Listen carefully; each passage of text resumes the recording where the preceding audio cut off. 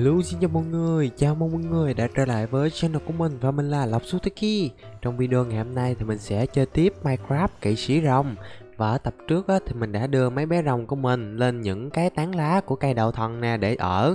Và hiện tại á, thì mình còn dư ra tới ba cái hạt đậu thần luôn. Thế nên bây giờ chắc mình sẽ trồng thêm một vài cây nữa nhá. Ở hai cái à, mỏm đồi đó thì đã có được hai cây đậu thần rồi. Cạnh nhà mình thì mình sẽ cho thêm một cây nữa đi. Để có gì mình còn đưa thêm mấy bé rồng khác lên đây ở nữa. Rồi giờ thì tiến hành trồng đậu thần luôn thôi nào.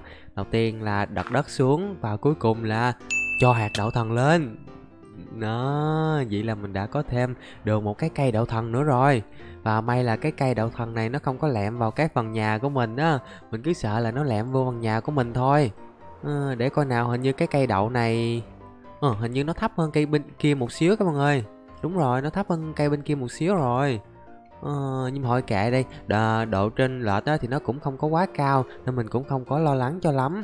Và mình sẽ đặt nốt ở bên đây một cây nữa để mình tạo thành bốn cái cây đậu thần khổng lồ. Và sắp tới mình sẽ cố gắng nối những cái cây đậu thần này lại với nhau bằng những cây cầu hoặc là những con đường á.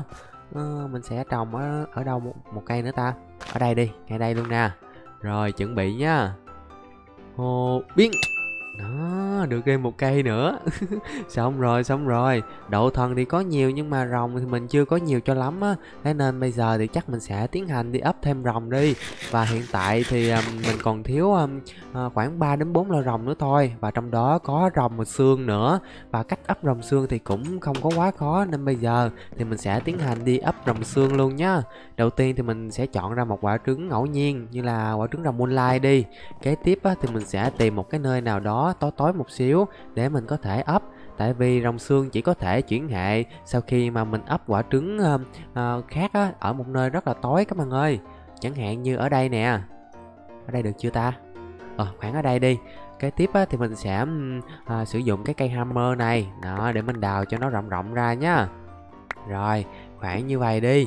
Và cuối cùng thì mình sẽ cho cái um, quả trứng này vào giữa. Uh, miễn là chỗ này nó không có ánh sáng là được các bạn ơi đây mình sẽ dập cây đuốc nè. Ui nó còn hơi sáng á. Ừ, cũng không sáng cho lắm thôi kệ đi tạm thời là như vậy. Và sau đó thì mình sẽ chạm vào và đẩy quả trứng vô trong một xíu nha. Rồi từ từ và chuyển hệ nha em. Giờ thì chắc mình sẽ rào lại chỗ này để đảm bảo rằng bên trong này nó thật là tối luôn nha các bạn. Rồi trong lúc chờ đợi quả trứng chuyển hệ á Thì mình sẽ...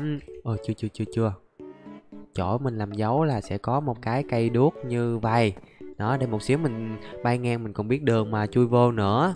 Ừ, hiện tại thì bé rồng à, của mình á um, hơi thiếu sắt một xíu để chế tạo áo giáp. Cho nên bây giờ thì chắc mình sẽ đi mai một xíu nhá để tìm thêm sắt thôi. Nè nè nè lúc trước á mình đào toàn là mình bỏ sắt hết trơn à. Giờ đang cần sắt nên mình sẽ cố gắng à, lấy thật là nhiều. Ui cái này là nguyên một cái hang nè các bạn thấy chưa? Oh, sắt cực kỳ nhiều luôn. Gặp biết cái hàng này là mình giàu to rồi. Lấy thêm lấy thêm về. Nó quá trời luôn quá trời luôn. Giàu giàu giàu rồi.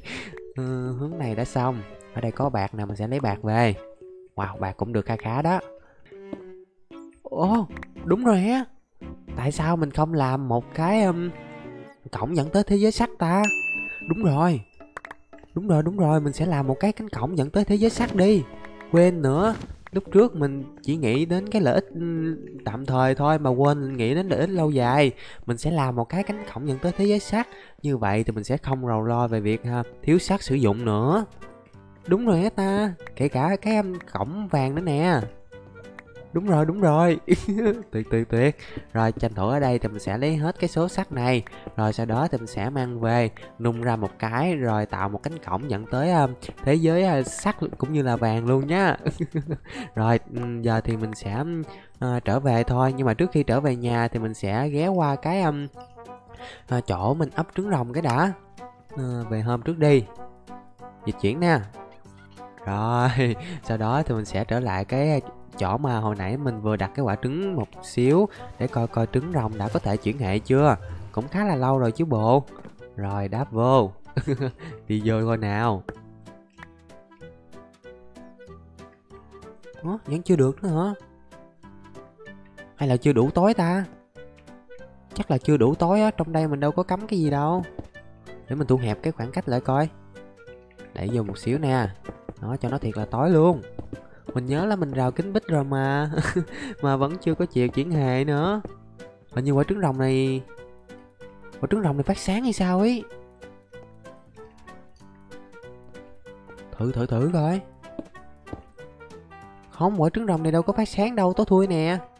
À, chắc là chưa đủ thời gian á ok giờ thì đợi thêm một xíu nữa coi coi à, quả trứng này có chịu chuyển hệ không nhá. Để mình còn tìm cách khác để ấp nữa để không thôi. À, việc ấp trứng rồng sẽ không thành công đâu và ra thêm một bé rồng moonlight nữa luôn. Rồi giờ thì tranh thủ mình sẽ nấu à, coi nào. Ở đây có một stack máy ha mình sẽ chia làm hai đi cho quá trình nấu nó sẽ diễn ra nhanh hơn. Nó chia làm hai chia làm hai nè. Rồi và bên cạnh đó ôi cái quặng này mình phải đập ra trước khi nấu mới được. Ủa? À mình hiểu rồi. Mình có mềm mại á nên đập nó đâu có chịu ra đâu. Tương tự với cái quặng emerald nè. À, được à, 6 rồi. Còn silver không biết mình có làm cánh cổng được không ta? Để mình coi nào silver. Ừ, cái này là silver glass rồi cái này không phải. Vậy là cánh cổng đến thế giới bạc không có rồi các bạn ơi. Ờ, ừ, thôi kệ không có thì thôi. Người ta nung ra bình thường cũng được chứ bộ.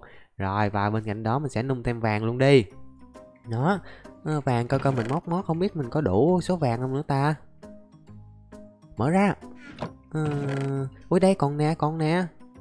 Ôi vậy tính ra mình còn vứt khá là nhiều mấy cái quặng ở nhà luôn á. Và kể cả những cái quặng mà mình đào ở dưới thế giới Twilight Forest để mình thử nung ra coi nó được cái gì nhá. Ronstein cái này không có nung được hả? Mình cứ tưởng nó là một cái loại quặng chứ. Là mình mang cái đống về nhà luôn rồi, vậy là bị lừa một cú rồi. Rồi giờ thì mình sẽ ngồi ở đây, cũng như là đợi một xíu để cho mấy cái sắt với vàng nó nấu ra nha các bạn. Trong lúc chờ đợi mấy cái kia nó nấu ra thì mình có một vài trò nghịch nghịch khá là thú vị với mấy cái xương rồng này. Đầu tiên thì mình sẽ lấy một ít trước cái đã rồi được hai cái rồi đúng không?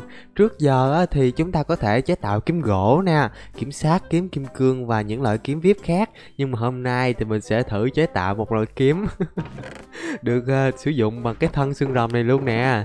Đầu tiên thì mình sẽ lặt đặt một cây que như công thức bình thường thôi và hai cái khúc xương rồng ở trên. mình được một cái cắt tết so rồi nè kiếm xương rồng với 5,5 sức tấn công ờ, nếu 5,5 như vậy thì chắc là nó sẽ ngang sức tấn công của một cây kiếm sắt á các bạn ơi. Để mình kiểm tra coi. Kiếm sắt. Ui nó bằng à, nó mạnh hơn kiếm gỗ và yếu hơn kiếm sắt một xíu. Wow. Ui coi kìa. Ờ, nhìn cũng đẹp chứ bộ. Nhưng mà có điều nó không có mạnh cho lắm. Và độ bền thì sao ta? Mình vẫn chưa biết độ bền nó như thế nào nữa. Để mình test với xương rồng. Ủa test với bé cừu thôi. Ui ui. Wow hai ít cũng chết được một bé cừu chứ bộ. Ồ, tính ra nó cũng không quá yếu đâu. Và bên cạnh đó còn có một cái găng tay bằng à, xương rồng nữa hay sao ấy Để mình sẽ thử chế tạo nốt luôn coi. Hôm nay đổi đổi gió một xíu sử dụng những cái món vũ khí tầm thường một tí chơi cho nó vui các bạn ơi. Ui ui rồi được uh, hai khúc rồi. Giờ thì mình sẽ thử coi coi cái công thức của găng tay là như thế nào ta? À, mình nhớ là trong đây nó còn có cái công thức của cái găng tay bằng uh, uh, uh, xương rồng nữa ấy các bạn. Để mình tìm nhá coi nào công thức của găng tay đâu ta? Găng tay đây đây đây đây. Ôi cái này là zombie hand. Tay zombie chứ không phải là tay xương rồng hả? Ờ à, đúng rồi á xương rồng làm cái găng tay tụi nó đâm vô tay thì sao? Và công thức của nó thì cũng khá rẻ thôi. Sắt à, coi nào sắt thì mình có ở đây rồi thịt zombie. Giờ thì mình còn thiếu thịt zombie nè. Thịt zombie ở đây. Và cuối cùng là da bò. Không biết da bò mình còn không ta? Da bò da bò. Ui chết rồi. Hình như mình ôi bây giờ chẳng lẽ mình hết da bò ta? No. À đây đây đây quên quên quên. Mình có nhiều da bò ở đây mà. Rồi giờ thì ấn vào công thức một cái nè tại zombie sức tấn công của nó là 3,5 và tốc độ đánh là 2,8 luôn. Để mình thử mang một cặp coi như thế nào nhá. Ui cái này legendary luôn nè. Wow legendary luôn. Nếu cởi cái áo giáp ra thì sao? Oh, ui cái tay zombie này kết hợp với cái cái tay của mình cực kỳ đẹp luôn nè. Ồ, nó còn được đính vô những cái viên đá lấp lánh nữa kìa. Wow, xịn xịn hôm nay mình sẽ sử dụng những cái vũ khí đập dị này để mình có thể đi chiến đấu nhá. Coi nào, coi nào. Ờ... Nấu xong chưa? Mở ra, mở ra. Rồi, đã nấu xong rồi. Giờ thì mình sẽ lấy hết ra Và bắt đầu nén lại. Đầu tiên mình sẽ nén vàng trước đi. Nó được 15 Còn sắt thì mình sẽ được bao nhiêu đây? Sắt, sắt, sắt thì mình sẽ được 12 nữa. Tạm ổn, với nhiêu đây thì mình dư sức làm một cánh cổng luôn. Nhưng mà trước khi làm cánh cổng á, thì mình cần phải làm một cái cây gậy trước các bạn ơi Chẳng hạn như cây um, uh, gậy kim cương này nè Thì mình cần phải chế tạo cái empty portal activator ấy. Và công thức của nó thì cần phải có ender pearl cũng như là thạch anh đúng không? Thạch anh ở đây mình có nè Còn ngọc ender cũng có luôn. Rồi không chần chờ gì nữa mình sẽ bắt đầu chế tạo à, đặt theo công thức như vậy. Đó được bốn cái. Và cần phải lấy thêm hắc diệm thạch nữa. Hắc diệm thạch mình ơ à, hình như mình vứt hay sao rồi? Ủa mình nhớ mình có mang về một ít mà ta. À đây nè đây nè. Đó sao mà quên được? Rồi giờ thì mình sẽ đặt theo công thức như vậy. Được một ôi chế tạo một thì mình sẽ được hai luôn nha. Và cuối cùng thì mình sẽ chuyển nó qua cái um, đó iron active nè. Cuối cùng là go active. Rồi không chần chờ mình sẽ qua đây và làm luôn hai cái cánh cổng này. Mình sẽ đặt xa xa cái này ra tại vì nếu mình đặt gần quá thì mình sẽ không thể nào chui vô trong được. Rồi đầu tiên thì sẽ đặt hai khối ở phía dưới. Ờ, nếu làm như vậy thì nó không đẹp cho lắm. Mình sẽ làm cho nó sâu xuống dưới đất một ô như vậy nè. Nó như vậy thì nó sẽ thấp hơn và mình cũng dễ dàng đi vào bên trong hơn nữa à, và ở góc thì mình sẽ đặt bằng hát diệm thạch luôn. Cho nó đẹp một tí. Xong mình đã có được một cánh cổng vàng rồi. Tương tự ở đây thì mình sẽ làm một cái cánh cổng bằng bằng sắt luôn đi. Đây nè sắt sắt. Ui ui chết rồi chết rồi. Đặt sai đặt sai. Đó đặt lại đặt lại nè. Ờ, nhưng mà mình cần phải đặt một lốc ở đây để mình chêm lên một xíu ấy và cuối cùng là một lốc vàng ở đây luôn. Chơi lớn luôn các bạn ơi Tại vì khi đã có cánh cổng vàng á Thì mình thoải mái mà lấy vàng mang về Nên không cần phải tiết kiệm tầm này nữa. Rồi và sắt. Xong giờ thì bắt đầu kích hoạt. À, Nhưng mà mình sẽ thử coi coi. Ồ, sai cái um, uh, kích hoạt thì nó sẽ không mở cánh cổng ra. Như vậy mới được nè. Tương tự bên đây thì mình phải dùng cái kích hoạt bằng sắt rồi, hai cánh cổng này đã được mở ra. Và giờ thì mình sẽ vào cánh cổng nào trước đây? Nhưng mà trước khi đi thì chắc mình sẽ dọn dẹp đồ lại một cái để cho kho đồ thật là trống trải để mình mang thiệt là nhiều những cái sắt cũng như là vàng về nhà nha các bạn. Mình đã dọn dẹp đồ lại một xíu rồi. Và ngoài ra thì à, bé rồng ender mà mình up ở tập trước á đã cũng lớn khôn. Và mình cho vào cái amulet này quên đem ra mất. Giờ thì mình sẽ cho các bạn xem hình dáng của bé ấy nha ta da to cực kỳ luôn. Nhưng mà mình còn thiếu một cái yên cưỡi ấy. Để mình vô trong đây. Mình lấy một cái yên cưỡi nè. Uhm, áo giáp thì chắc mình sẽ thử chế tạo một bộ áo giáp vàng đi. À, để xem coi có phù hợp với em rồng này không. Rồi gắn yên cưỡi lên nè. Đang đói hả? Cho ăn thịt cừu luôn. Rồi no bụng. Và giờ mình sẽ cưỡi thử cho các bạn xem nhá. Bình thường thì đôi cánh nó có màu ngã tím đúng không? Bay lên nè. Nó đôi cánh cực kỳ đẹp luôn. Wow, mình cực kỳ thích đôi cánh của rồng Ender đợt luôn á. Cực kỳ đẹp á. Và rồng ender đợt thì có một cái cũng như là cái có một điểm đặc biệt là mình không thể nào cắt vải bằng cây kéo kim cương được nha các bạn. Để mình thử chế tạo một cây kéo cho các bạn xem này. Hai viên kim cương đặt theo công thức bình thường. Rồi và mình sẽ thử lại đây coi coi cắt được không nhá ui! Ô oh. Ồ bây giờ lại cắt được rồi hả? Ồ, ở season 1 á, thì mình không thể nào cắt được các bạn ơi. Nhưng mà ở season 2 thì đã update lên và mình có thể cắt được rồi. Nhưng mà mình còn có một cách để farm vải rồng tự động hơn. Đó chính là mình sẽ sử dụng cái um, cọng lasso á Rồi cho bé rồng vào bên trong cái mini mob farm. Như vậy thì mình có thể thoải mái đi uh, khám phá mà vải rồng thì vẫn được cắt đều đều á. Nhưng mà mình phải canh thời gian nhá. Canh làm sao mà vừa kịp lúc về nhà để không thôi. Nếu mà cái sợi dây này nó mất á luôn á Thì bé rồng ở bên trong cũng sẽ tan biến theo sợi dây. Nên cực kỳ nguy hiểm. Rồi nè, hiện tại thì bé rồng đang được ấp bên trong đúng không? Và vải rồng sẽ được truyền xuống phía dưới. Đợi một xíu nè. Ấm ba la ấm ba la. Ra vải đi. Nó ba vải nè. Ở đây ba nữa là sáu. Khi mà mình trở về từ thế giới ờ, sắt cũng như là vàng thì chắc mấy cái vải này cũng đã được cắt xong rồi đó các bạn ơi. Rồi giờ thì đi thôi. Khi nào về thì mình sẽ à, bắt đầu làm việc với mấy cái vải đó sao à, ờ, mình sẽ đi vào cánh cổng vàng trước đi vàng có độ hiếm cao hơn sắt nè. Rồi đi thôi. Và dưới này thì mình nghĩ sẽ có rất là nhiều vàng. Vàng tùm lum luôn nè. Wow. Nhưng mà vẫn có tnt Ô, mình không thích một điểm đó chính là TNT á Tại vì TNT lỡ mà nổ thì mình sẽ mất rất là nhiều món đồ ở đây luôn. Dạ không được không được. Găng tay, găng tay zombie Sức chiêu. Ôi cha cha cha cha cha cha. Ui mình cào liên tục luôn á. Coi tay mình kìa, cào nhanh cực kỳ luôn. Wow Xịn nha. Ui oh, mình nóc nào được hai tên rồi. Ba tên và tên cuối cùng. Ồ, cũng cũng ổn chứ bộ đâu đến nỗi nào tệ đâu đúng không? Rồi tương tự với mấy tên này nè. Mình sẽ chơi đấu võ kháng với mấy tên này chứ chịu có đi. Căng căng hết luôn. Ờ quên nữa sẵn đây á thì chắc mình sẽ tìm thêm mấy cái hang rồng luôn đi.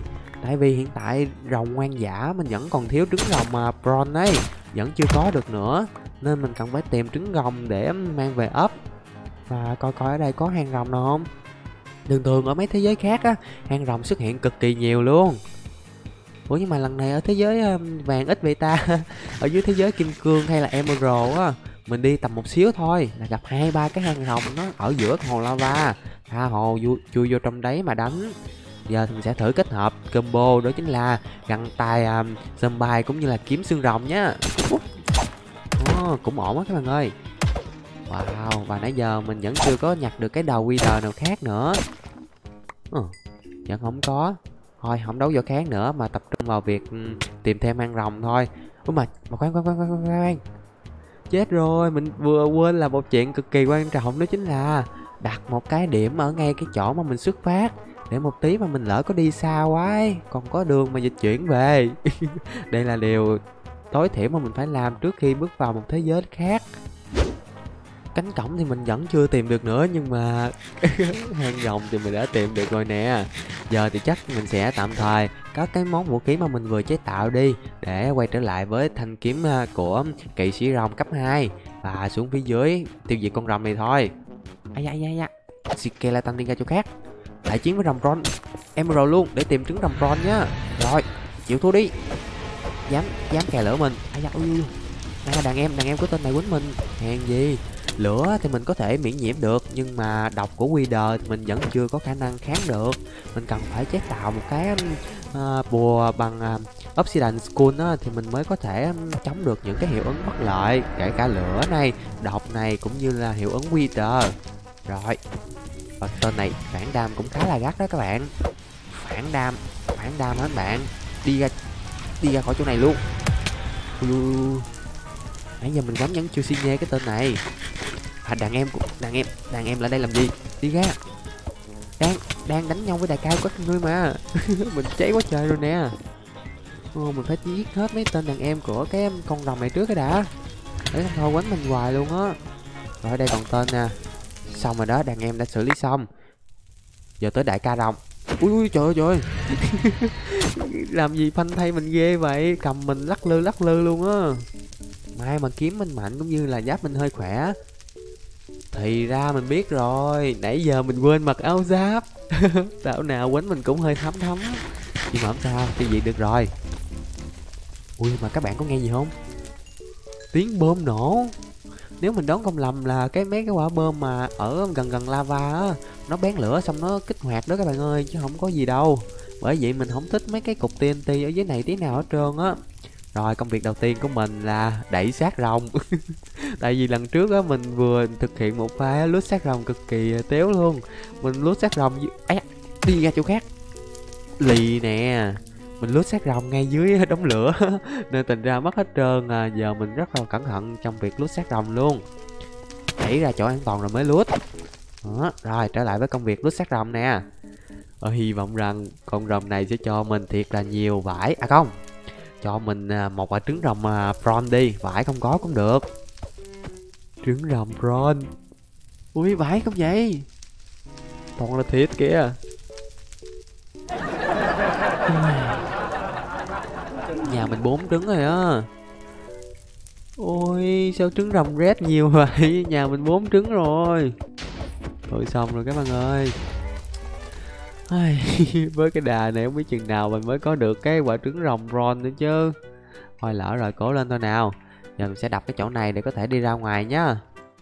Thôi chắc mình sẽ quay trở lại với công việc tìm cái cánh cổng quá, chứ để không thôi một hồi lạc ở dưới đây là toàn thật sự luôn à nãy giờ núp ở đây. Cái cổng này nó trùng màu, khó tìm cực kỳ luôn á. Wow, đặt cái điểm ở đây liền. Cái này là portal. Đó, giờ thì hết xà lạc rồi nhá. Thôi thôi thôi, bỏ qua đi, giờ về nhà luôn thôi nào. Ui, bên đây đang ban đêm hả? Ủa, để để mình xuống dưới đây mình kiểm tra luôn coi. Coi quả trứng rồng nó như thế nào rồi. Ui ui ui ui. Rớt rớt sâu quá. Kìa chuyển hệ rồi. Thế là rồng xương đã được chuyển hệ rồi đó các bạn ơi. Giờ thì mình sẽ vẫn giữ nguyên cái khu vực này để cho bé rồng thực hiện cái quá trình à, nở ra từ quả trứng. Sẽ lắp lại. Đó, từ từ nở ra em nhá. Vàng đã có rồi. Giờ thì mình sẽ bắt đầu vào trong cất đồ cũng như là ngủ một giấc trước khi à, tiếp tục qua cái thế giới sắt để lấy thêm sắt về nhà nha các bạn rồi vào giờ thì mình cũng đã lấy được một ít sắt thêm rồi. Mình đã có thể thoải mái sử dụng sắt trong thời gian sắp tới. Và mình sẽ kiểm tra thêm coi vải rồng cắt được bao lâu rồi ta. Nãy giờ cũng khá là lâu rồi đó. Wow các bạn coi cắt kìa. Một stack mấy luôn, hai stack rồi. Hai stack vải rồng trong chốc lát luôn á. Thôi hai stack là nhiều cực đối với mình Nên mình sẽ cho bé rồng của mình ra ngoài và thả tự do nhá Nãy giờ em ấy quá là cực rồi ở ngay chỗ cũ mà mình thường đặt nè. À, và bên cạnh đây á mình còn làm thêm một ít cái chỗ trồng dưa hấu. Ui ui ui lỡ tay anh lỡ tay anh lỡ tay à, mình làm thêm ít cái chỗ trồng dưa hấu nè cũng như là trồng cà rốt. Các bạn biết chi không? Để mình chế tạo một loại súp cho mình ha những hiệu ứng cực kỳ tốt luôn á. Rồi bây giờ thì chắc mình sẽ à, cất mấy cái sắt này vô trong ba lô trước đi. À, cũng như là vàng ở trong này rồi. Và mình sẽ tiến hành chế tạo áo giáp cũng như là vũ, vũ khí và dụng cụ từ vải rồng ender nhá loại vải cực kỳ hiếm. Nhưng mà gỗ hình như mình mình xài hết rồi nên chắc mình sẽ đốn cái cây này một cái nè đó, có thêm gỗ liền. Và mình sẽ tiến hành chế tạo luôn thôi. Ừ, ván mình sẽ đổi ra gậy trước nè đổi hai lần đi. Cái tiếp á thì mình sẽ làm hẳn một cây kiếm bằng à, vải rồng ender nhá. Ta da một thanh kiếm ender. À, và bên cạnh cây kiếm á, thì mình sẽ chế tạo một cái cây cúp thử xem. Wow cúp ender nhìn cũng khá là đẹp đó các bạn.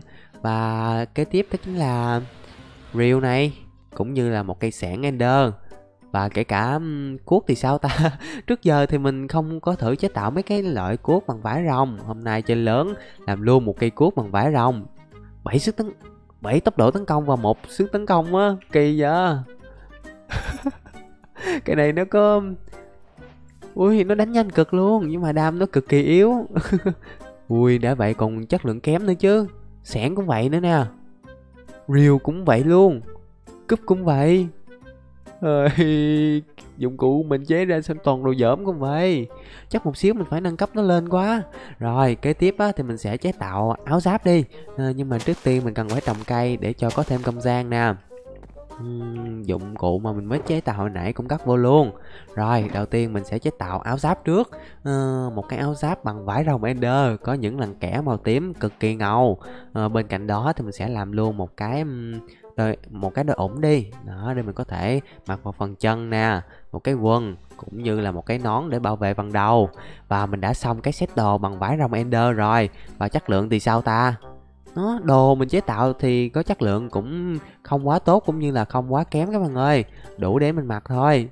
Nó kết hợp với cái đôi cánh của mình thì cũng cực kỳ phù hợp luôn. Giờ thì mình có thể bay lên nè. và cái set đồ này á nó chỉ phát huy sức mạnh khi mà mình chiến đấu thôi. Nên giờ thì mình chưa phô diễn cho các bạn xem được. Và ngoài ra thì mình sẽ vô trong nhà nè đổi cái chất lượng này một tí chứ chất lượng kém quá mình dùng nó cũng đâu có tốt đâu đúng không? Rồi cho vải vào trong nè. Đập ra thôi. À. ủa? Tucky vậy? Ui lên chừng nào chất lượng tốt thì thôi nhá. Nhiều vải mà. Nhà không có gì ngoài vải hết trơn. Ray full uhm, tốc độ tấn công ok cũng tạm ổn mình chỉ cần ép sắc bén vô là ok rồi. Ờ, à, cái tiếp là cây cúp nè cũng là ray real thì, ồ, real thì sao ta? Ken. Ừ hé kiếm mình nghĩ nên có dòng ken đi tại vì ken nó vừa cho sức tấn công cũng như là tốc độ tấn công nữa rất là phù hợp với một thanh kiếm có tốc độ ờ, và sức tấn công ổn như vậy. Kế tiếp là cây cuốc thì không có đổi chất lượng được. Cây sẻn nè. đây là chất lượng kém nhất luôn á, mà mình đã đập ra luôn nè. Rồi, vậy là dụng cụ của mình đã ok. Và đặc biệt hơn, mình sẽ tiến hành enchant áo giáp lên nhá. Đầu tiên là bảo vệ nè, mình chỉ cần enchant dòng bảo vệ cũng như là ui, mình hết kinh nghiệm luôn rồi hả? Thôi xong rồi, mình hết kinh nghiệm rồi mỗi lần trở về từ những thế giới khác á thì kinh nghiệm của mình bào mòn hết trơn luôn. Trừ khi mình ngủ một giấc để cho nó phục hồi lại. Rồi giờ thì chắc mình sẽ à, nghỉ ngơi cũng như là ngủ một giấc đi để cho nó phục hồi lại kinh nghiệm nhá chứ đâu còn kinh nghiệm đâu mà enchan và các bạn có thấy những cái luồng à, khói màu tím xuất hiện quanh người mình không? Nữa đó chính là công năng đặc dị của set đồ này. Di chuyển thì cũng cực kỳ đẹp nữa. Rồi hẹn gặp lại các bạn khi mà mình trở lại nhá sau khi nghỉ ngơi xong thì mình đã trở lại với cấp độ như cũ đó chính là 59 Giờ thì mình sẽ tiến hành enchant nè Bảo vệ đúng không? Rồi um, chậm hỏng nè enchant hai thứ này là đủ mặt rồi. Mình khá là lười ra ngoài để tách sách đó các bạn ơi phải lựa tùm lum hết trơn á. Nhân tiện có kinh nghiệm nè mình sẽ enchant luôn. Tại vì những cái dòng này enchant nó cũng không có tốn quá nhiều ấy nên thoải mái mà dùng. Rồi cuối cùng là chậm hỏng. Ta da Set đồ của mình có thể nói là cực kỳ tốt luôn rồi nè. Nhưng mà kiếm thì mình vẫn chưa enchant Nên bây giờ mình sẽ enchant sắc bén này. À, Đánh bật lùi. Nên không ta? Uh, ok, lần này mình sẽ thử enchant dòng đánh mặt lùi nhá. Tại vì trước giờ mình cực kỳ hạn chế enchant cái dòng này. Đánh một phát người ta bày đầu heo ba bốn block. Phải ngược lại để quánh thêm một hit nữa thì rất là khổ. Rồi xong, như vậy thì kiếm mình cũng đã được nâng cấp nè. Áo giáp cũng vậy. Và giờ thì chắc mình sẽ tìm một cái con Ui chết rồi, gió thổi mấy bé rồng rớt xuống đất mất tiêu rồi. Để mình dẫn mấy bé lên trên lại cái đã. Rồi đi lên trên em ơi. Đó, lần này cho mấy bé đi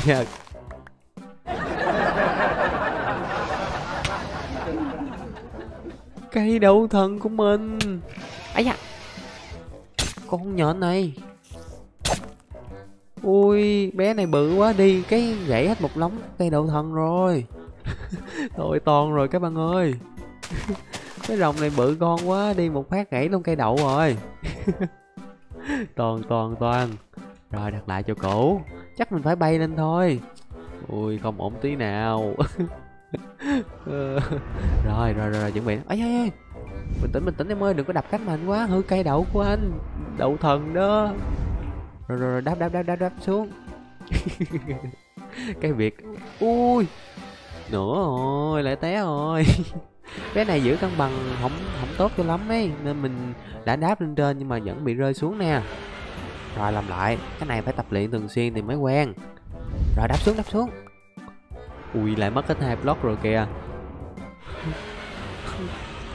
Cái này đáp tầm 10 lần nữa, chắc cây đậu này nó gãy luôn quá. Thôi kệ đi, nghĩ sao mấy bé này có nơi ở đàng hoàng là chịu không ha. Rồi, trả lại vị trí à, ban đầu cho cái um, khối này coi. Đặt vô. Còn mấy bé rớt dưới nữa. Rồng ray thì vẫn y nguyên, còn rồng emerald cũng như là rồng băng nè. Khổ ghê á chứ chuẩn bị đi tìm một con vật nào đó để test mà ai về phải dẫn mấy bé rồng này trở lại chỗ cũ nữa. Rồi đáp lên. Rồi đứng yên đây nhá không có đi đâu á. Để không thôi mất công mình lại dẫn lên trên nữa.